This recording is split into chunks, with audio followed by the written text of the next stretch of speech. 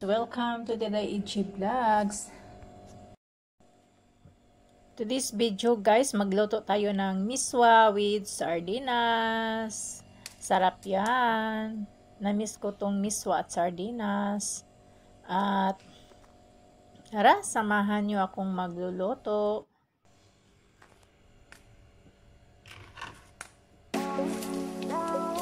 Lagyan natin ang onion, bawang, saka garlic.